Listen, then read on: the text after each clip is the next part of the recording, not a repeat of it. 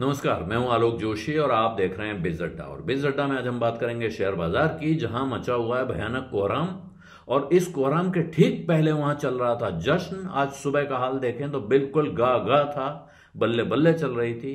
दोनों इंडेक्स एकदम ज़बरदस्त उछाल के साथ नई ऊंचाई पे खुले, नया रिकॉर्ड बनाया। और आधे दिन करीब वो जश्न चला है और उसके बाद बाज़ार में एकदम तगड़ा झटका लगा है।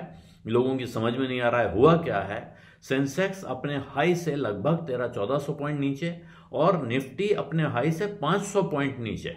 पहुँच के बंद हो रहे हैं। वो बिल्कुल आप क्लोजिंग देखेंगे तो आपको 500 पॉइंट नीचे नहीं दिखेगा, लेकिन वो इसलिए क्योंकि आखिरी समय में एवरेजिंग होती है तो जहाँ वो फाइनली पहुँच गया था, उससे ऊपर उसकी क्लोजिंग दिख रही है, लेकिन गिरा वो 500 पॉइंट के आसपास था।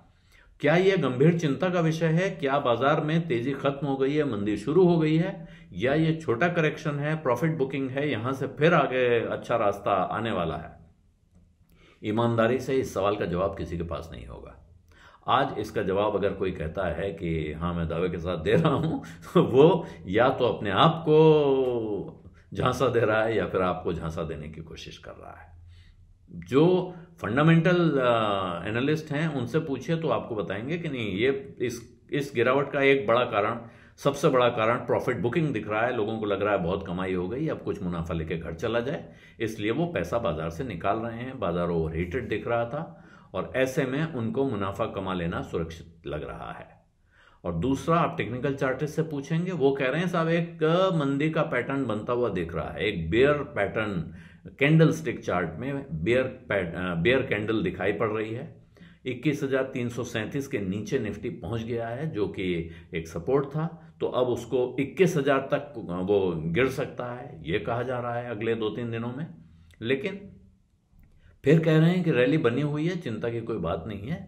और आगे अभी बाज़ार में कमाई के मौके इंडिया स्टोरी सब कुछ इंटैक्ट है।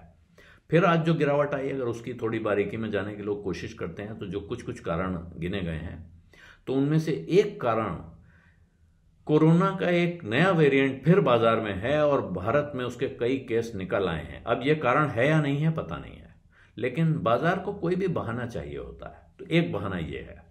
दूसरा बहाना रेड सी के आसपास घटनाएँ जो हुई हैं, वहाँ हमले हो रहे हैं जहाज़ों पे। तमाम दुनिया की बड़ी शिपिंग कंपनीज़ ने सुएज कैनाल से लाल सागर या रेड सी से अपने जहाज़ पार कराना बंद कर दिया है और वो लंबा रूट पकड़ने लगे हैं। ये कारोबार के लिहाज से एक परेशानी की बात है। दूसरा, अब लोगों को फिर भारत के वैल्यूएशन दिखने लगे हैं कि भारत के वैल्यूएशन ओवरहीटेड थे, यहाँ से तो नीचे गिरना या प्रॉफिट टेकिंग होना स्वाभाविक था। तो कारण आप गिनेंगे तो तमाम तरह के मिल जाएँगे, लेकिन अभी अगर बाज़ार घूम गया और फिर तेज हो गया तो ये सारे कारण गायब हो जाएँगे। ऐसे में आप कर ये सकते हैं कि सावधानी बरतें अपने पैसे के प्रति। पैसा आपका है, सावधानी आपको बरतनी है, और उसका तरीका यह है कि देख लें, आपके पास कोई कमज़ोर कंपनियाँ हैं आपके पोर्टफोलियो में, उनको छांट के किनारे करें। मौका है, अभी भी मौका है, और अगर आपके पास, आप, आईपीओ में एप्लीकेशन लगाते हैं तो बहुत सावधान रहिए, इस वक्त आईपीओ की पूरी बाढ़ आई हुई है और इसमें कुछ भी हो सकता है। कोई भी आपका पैसा आपकी आपकी, कहते हैं ना आपकी जेब पे बहुत से लोगों की नज़रें लगी हुई हैं और उसको बचा के रखना आपका अपना काम है। तो कोई एप्लीकेशन लगाने के पहले अच्छी जाँच पड़ताल कर लें, अच्छे जानकारों की सलाह ले लें और वरना उससे दूर रहें तो कोई हर्ज नहीं होगा।